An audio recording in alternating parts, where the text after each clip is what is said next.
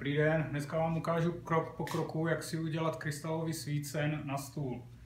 Začneme tím, že si zajdeme někam do skláren, kde nám dají temperované sklo, kde mm, se toho rádi zbaví, nebo dají vám kousek tabulky a vy si ho takhle namlátíte, jak je to takhle, jo, aby to bylo v takové konzistenci. Jo. Zkuste to, když tak přes sítko,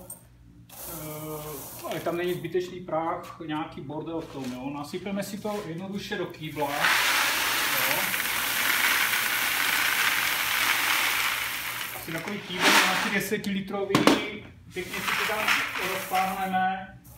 Jo, když už budeme v těch sklárnách, tak, tak si uh, necháme nařezat nějaké tabulky skla 10x10, uh, které tam trošku zamáčkneme, jo, come on, které si tam trochu zamáčkneme, aby nám tam takhle seděli, jo, trochu si to přihrneme, ať to tam fakt sedí parádně, jo.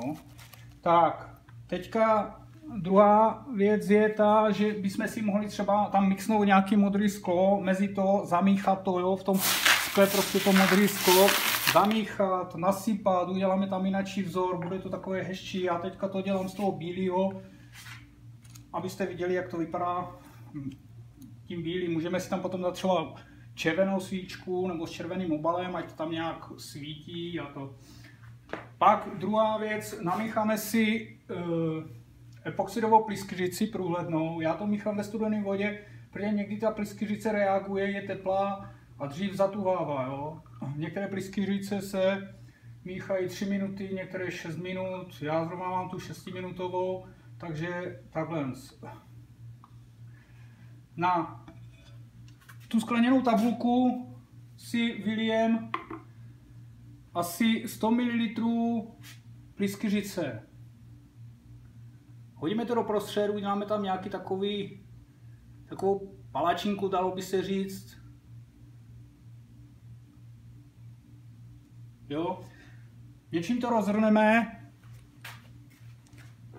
Veme si, si nějakou špachtličku nebo něco, nějak to musíme dát do těch stran pečlivě, začneme nějak od té čtvrtky, dáme to na jednu stranu, čtvrtka na druhou stranu, teď z půlky, zase z půlky, No, snažíme se to dávat i do těch hodně krajů, jo, a ty kraje, protože většinou to jde jenom na ten prostředek, ale musíme fakt dbat na to, aby to šlo i na, ten, na ty kraje toho sklíčka. Takhle to vlastně celé rozhrneme. Pak počkáme těch 24 hodin, až to zatuhne. Necháme to v kyblíku takhle.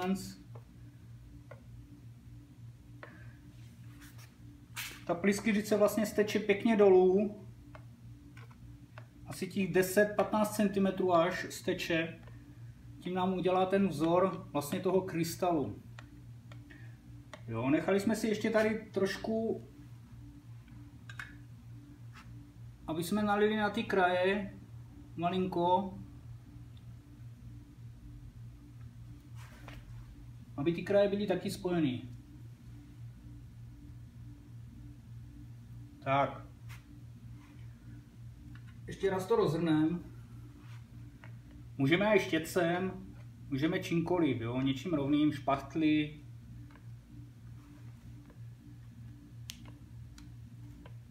Tak. Já myslím, že to máme.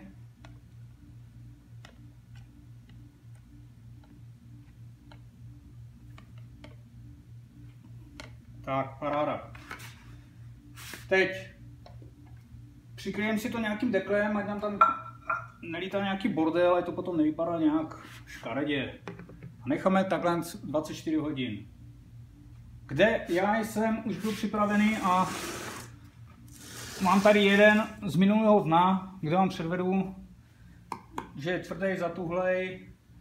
Máme nachystaný nějaký ten kublik, kde si to lehce používejte asi rukavice nebo se pořežete, jo. Já to dělám bez rukavic, jsou očkované. Tak, teď si to pomaličku, pomalu to vysypeme. Ano. Tak. Teď vlastně to zkusíme převrátit a vysypeme z toho ty zbytky. Takhle pěkně. Jo, můžeme zkusit tady nějaké ty, co jsou tady bokem takhle nějak, tak to zkusíme normálně odlomit, ať se neřízne, když tak, doupravit. Jo, takhle to vypadá.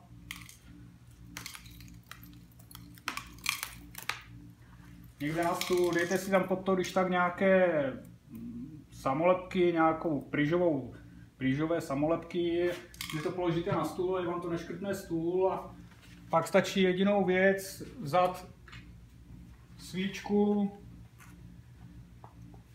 zapálit,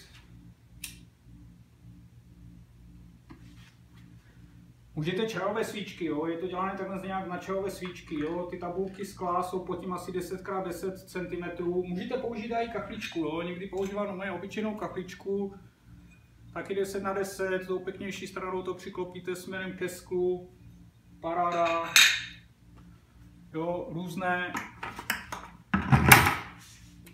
Mám tady větší, kde jsem nalil trochu více té blízkyřice, kde ten efekt je trošku jinačí. Jo, zasnem, ať trošku vidíte. Jo, je to takové...